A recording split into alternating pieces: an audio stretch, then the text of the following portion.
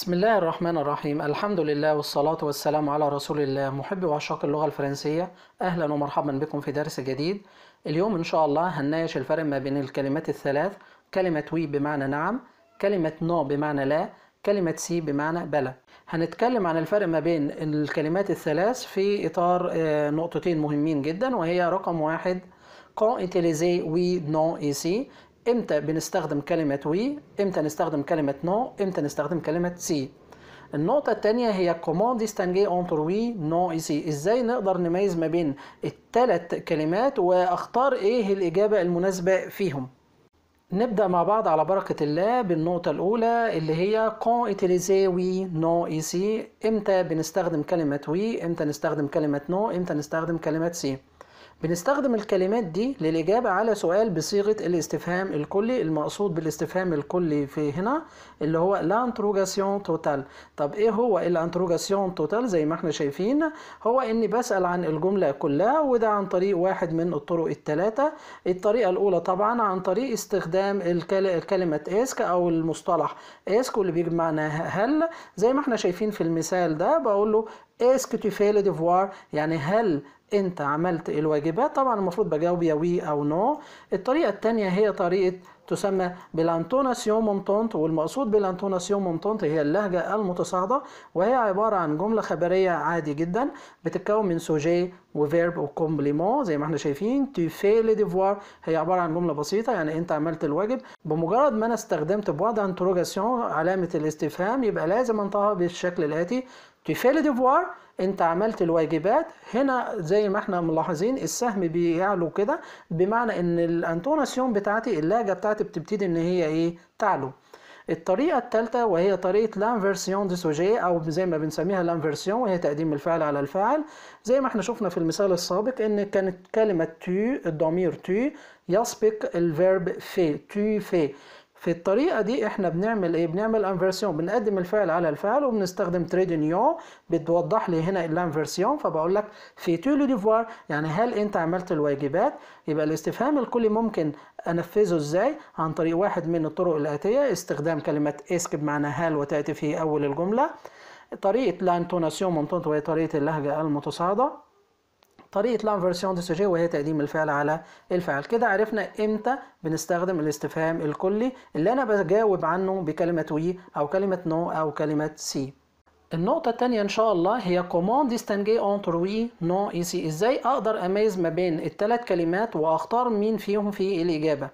طيب السطر ده بيقول إيه؟ بيقول يمكن ان يمكن التمييز بسهولة عند الاختيار ما بين كلمة oui وكلمة non وكلمة si عن طريق إن أنا بحدد هو السؤال بتاعي مثبت ولا منفي. عشان كده أنا عامل comparaison مقارنة.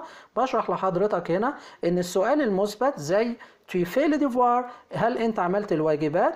السؤال هنا طبعا مثبت فالإجابة بتاعتي بتبقى حاجة من اتنين. بستخدم طبعا oui علشان أرد إجابة مثبتة فبقول على سبيل المثال زي ما إحنا شايفين كده oui je fais le devoir يبقى أنت سألتني أنت عملت الواجبات؟ قلت لك نعم oui je fais le devoir أنا عملت الواجبات.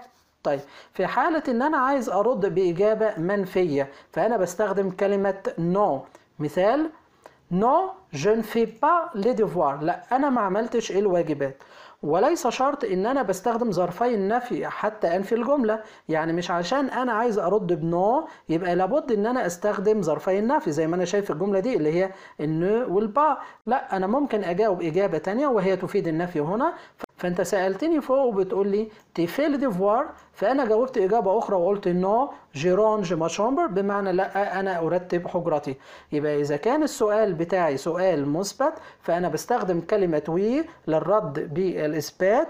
oui je fais les devoirs وبستخدم non للرد بالنفي. non je fais pas les devoirs أو non je range ma chambre إذا كان السؤال مثبت يبقى أنا بختار فقط oui أو non وبحذف تماما من اختياراتي كلمة si أما إذا كان السؤال بتاعي منفي كما في هذا المثال tu ne fais إيه ده أنت ما عملتش الواجبات فهنا السؤال منفي. يبقى أنا هستخدم كلمة si علشان أرد بجملة مثبتة. فهقول si je fais le devoir طبعا المشكلة بتيجي هنا إن أنت سألتني فوق وبتقول لي fais pas le devoir وبتستخدم si وبتجيب وراه جملة مثبتة. عشان نوضح النقطة دي هناخذ مثال بسيط جدا يوضح لنا الأمور دي. يعني ربنا سبحانه وتعالى في سورة التين والزيتون بيقول أليس الله بأحكم الحاكمين؟ هو بيسألك هنا باستخدام صيغة الاستفهام المنفي أليس الله بأحكم الحاكمين؟ أنا لازم أرد هنا وأقول بلى يا رب أنت أحكم الحاكمين. أنا استخدمت بلى وجبت وراها جملة مثبتة. طيب هي بلى اللي هي بتساوي أون فرنسي كلمة سي. كانت وظيفتها إيه؟ كانت وظيفتها حذف النفي اللي موجود في الاستفهام.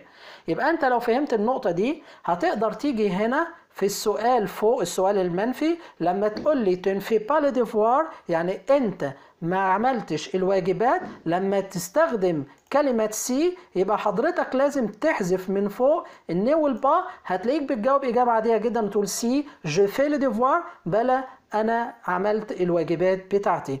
أما إذا كنت هتجاوب ب non فهتلاحظ دايما إن non وراها جملة منفية. فأنت بتقول في الجملة دي non je ne fais pas devoirs لا أنا ما عملتش الواجبات. يبقى باختصار شديد جدا لما بيكون السؤال مثبت بنستخدم oui وراه جملة مثبتة non وراه جملة منفية.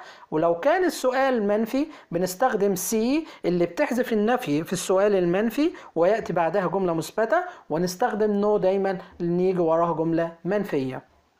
بعد ما انتهينا من شرح الفرق ما بين الكلمات الثلاث خلونا نشوف مع بعض تمرين بسيط. choisissez la bonne réponse اختيار من متعدد يأكد لنا فهمنا للقاعدة دي إن شاء الله. السؤال الأول بيقول vous partez à Paris يعني أنتم هتسافروا من باريس؟ طبعا السؤال هنا سؤال مثبت. يبقى لازم أحذف من إجاباتي كلمة si وأركز فقط على كلمة oui وكلمة non في الإجابة بيقول nous partons à Paris نعم نحن سنرحل إلى باريس. يبقى طبعا الإجابة هنا كلمة oui. السؤال الثاني بيقول إيه ده إحنا مش هنلعب؟ يبقى طالما سؤال منفي هنعمل العكس بقى الجملة الأولى. هنحذف هنا كلمة oui ونركز على كلمة non وكلمة si. طبعا بيسألني بيقول إيه ده إحنا مش هنلعب؟ فأنا بقول له je vais lire أنا سوف أقرأ. يبقى أنا مش هلعب يبقى إجابة منفية يبقى يجب أن يكون الاختيار كلمة non السؤال الثالث بيقول le tennis est un sport extrême. هل التنس هو رياضة عنيفة؟ في الإجابة طبعا قال un sport classique. طبعا سؤال مثبت عادي جدا. هقول له لأ التنس بيكون رياضة كلاسيكية. يبقى الإجابة طبعا كلمة non السؤال الرابع tu n'as pas ta trousse أنت ما معكش المقلمة بتاعتك؟ طبعا ده سؤال منفي. يبقى هنحذف كلمة oui نركز بس على كلمة non وكلمة si في الإجابة بيقول je l'ai oubliée تاني كده je l'ai oubliée je l'ai oubliée معناه أنا نسيت الإيه؟ المقلمة بتاعتي. يبقى هي مش معايا فهقول له طبعا هنا non. يعني لأ جم با ماتروس جم با ماتروس يعني أنا معيش مقلمتي parce que je l'ai oubliée لأني نسيتها. السؤال الخامس هنا بيقول aimes-tu regarder le film d'action هل أنت بتحب أفلام الأكشن؟ سؤال مثبت. نحذف طبعا كلمة si نركز فقط على كلمة oui وكلمة non. في الإجابة بيقول j'aime regarder les films romantiques طبعا هنا في نافية لا أنا بفضل الأفلام بتاعة الأفلام الرومانسية. فالإجابة هتبقى هنا non. j'aime regarder les films romantiques السؤال السادس بيقول on va pas au cinéma إذا إحنا مش هنروح السينما طبعا طالما سؤال منفي بنحذف كلمة oui وبنركز على كلمة non وكلمة si طيب هو هنا بيقول je veux bien يعني أنا أرغب في شدة أني أذهب إلى السينما. لاحظت في الجملة دي إني حذفت هنا النفي اللي هو ال ne وال pas يبقى على طول لازم أقول له si لأن دي وظيفة si إنها بتحذف النفي في الاستفهام المنفي. فهقول si on va au cinéma je veux bien يعني بلى إحنا هنروح السينما لأني أرغب بشدة في ذلك. السؤال الأخير بيقول on fait pas d'escalade هو إحنا مش هنتسلق الجبال. في الإجابة طبعا بيقول j'ai mal au dos. يعني بيقول أنا أشعر بألم في ظهري. طيب السؤال هنا سؤال منفي.